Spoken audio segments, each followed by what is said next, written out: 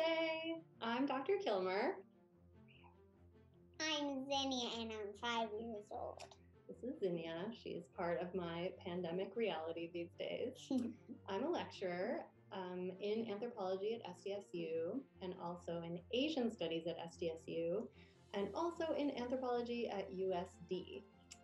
Hi, I'm Ramona Perez. I am a professor of anthropology and director of the Center for Latin American Studies here at San Diego State. I also chair the Institutional Review Board, um, and I am the chair of what is called the Aztec Identity Initiative.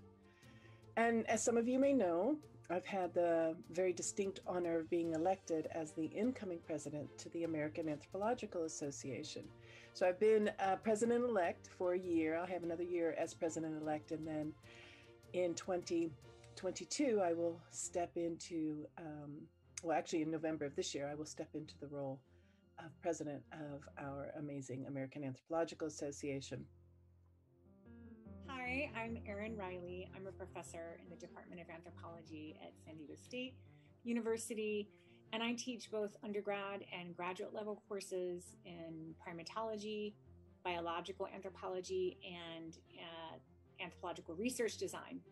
I'm Dr. Isaac Ullah. I am an archaeologist, specialty in computational methods in archaeology and geoarchaeology.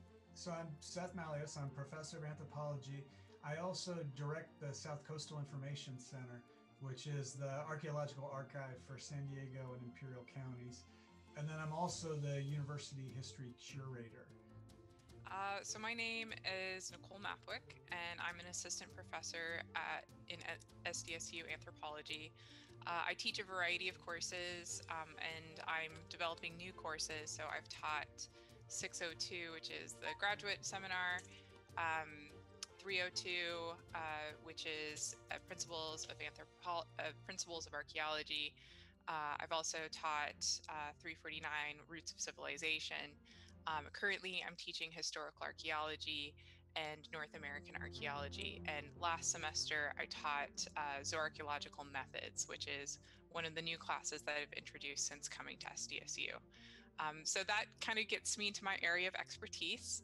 Uh, I study dead animals. Yeah. Um, so I am a zooarchaeologist by training, and I study the archaeologies of colonialism. Um, so I use animal remains from archaeological sites to understand how environments and people's resource usage changed as a result of contact uh, in the colonial period in the southwestern U.S. and northern northwestern Mexico.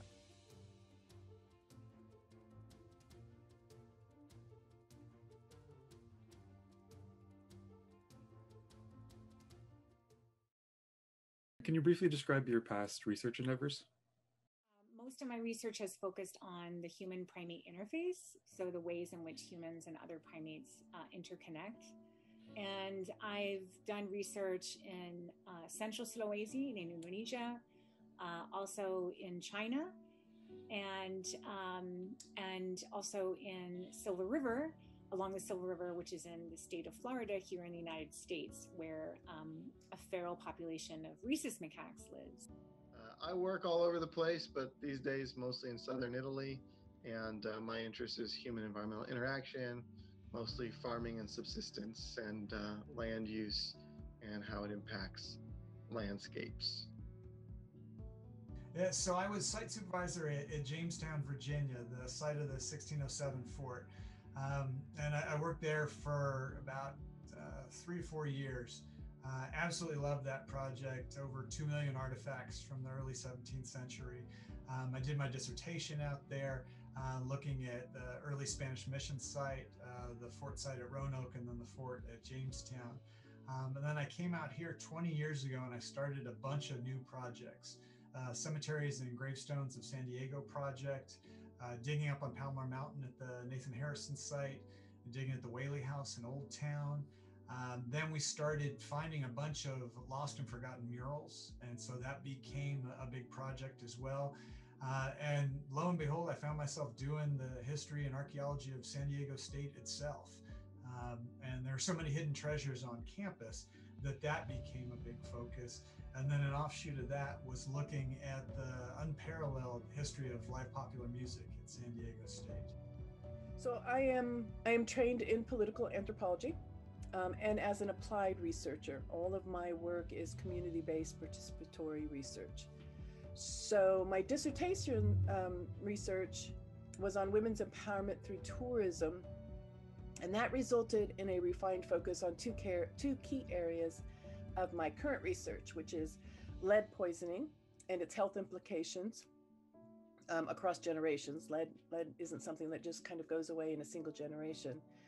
Um, and state level structural marginalization and violence against rural and indigenous populations in Mexico. My main areas of expertise are medical anthropology, gender, and my regional expertise is South Asia.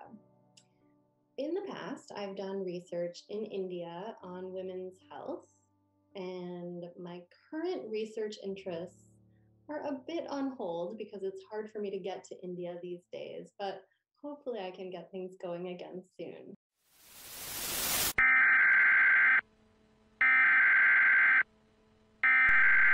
We interrupt our program to bring you this important message. Mysterious pneumonia outbreak in Wuhan, China. A new type of coronavirus. The number of affected countries has tripled. The World Health Organization has just declared that this is a pandemic.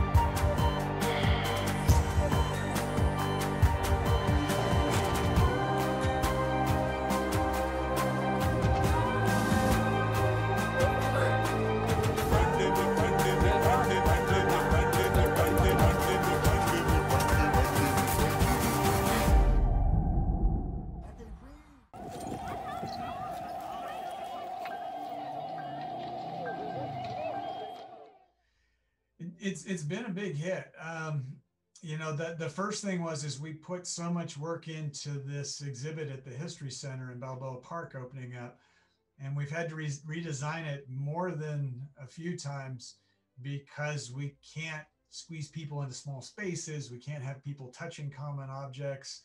Um, and so we've spent a lot of time transforming this exhibit into a dual exhibit that's both online and in, in person. Um, so that was a that was a huge transformation for us, and at times it's it's felt exhausting.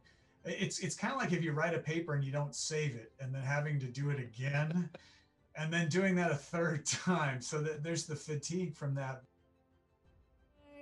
The, the pandemic has essentially meant that I have not been able to travel to the field to do field work. Uh, I was on research leave academic year 2019 2020 um, and because of COVID 19, I basically had to cancel all field work that I had planned for my protected time, research time, which was quite disappointing. Um, it's also meaning that I probably will, will unlikely for me to travel to the field in 2021. And this also obviously impacts my students as well. Yeah, it's been tough. We had to cancel our field program. We had a budget, we had personnel, we had everybody lined up well, some of us even bought plane tickets. Luckily, not me for last summer. And uh, you know, when the pandemic hit, it was all uncertain. It was played down a bit. Uh, obviously, the previous administration didn't handle it really all that well. Um, but we were seeing news actually out of Italy and how bad it was there, and that was the reason why we canceled our field school, uh, field not school, but field program in the big, you know, when we did, not because we thought it was going to be that bad here in the United States. Obviously, that changed, and we realized that it was a good idea. We had postponed everything, so we haven't done any field work. Um, and unfortunately, what it means is our grant expired, and so we had to spend money on other things. The, the last little bit left, and we're in between funding, so you know we'll see what happens. But we're not slated to go this summer and uh, who knows for the next summer. in terms of like reading writing, uh, lab research, that's all slowed down too, just because, you know, everything is kind of ground to a real slow pace.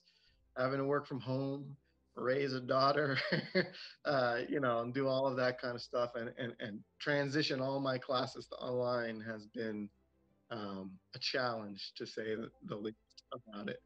So, you know, a little bit of work has happened, but not nearly at the same pace that it typically, you know, in a, in a, in a quote unquote normal year would, would happen for sure. It's been tough.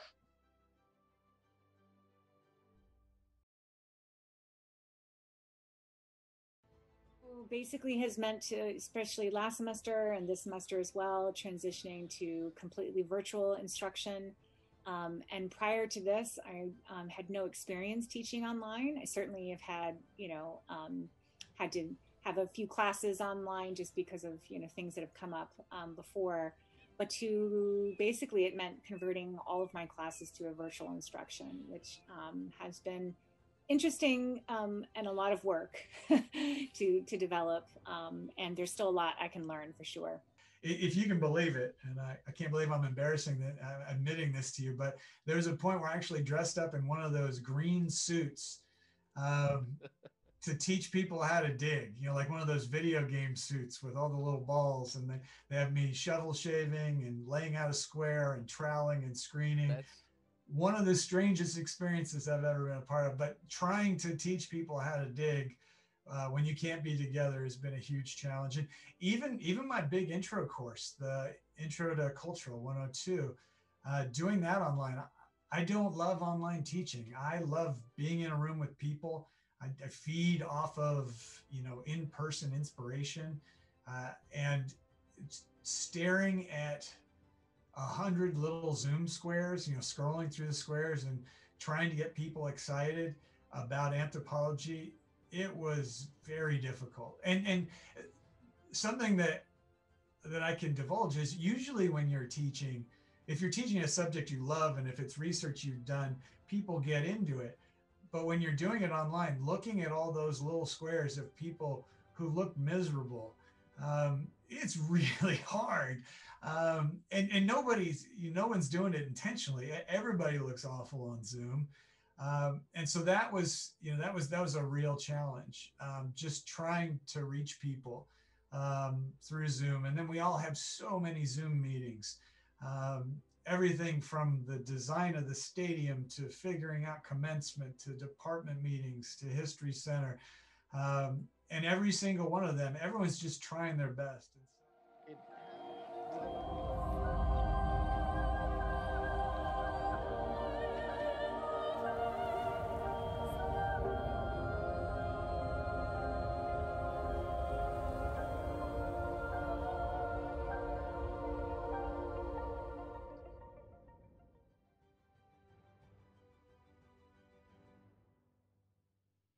The most inspiring aspect of teaching during the pandemic is my students. My students are the best, and you keep me going. And I'm so impressed with how you have all handled all of these challenges. So, with that said, I want to thank you for honoring Anthro Day. I want to thank you for choosing anthropology as your major, your minor, or your graduate field of study. I want to thank you for believing in the discipline and for becoming an anthropologist. Um, and if you're watching this and you are not an anthro major, minor, or graduate student, come talk to me because I think I can convince you um, to join us, to join our, um, our amazing community.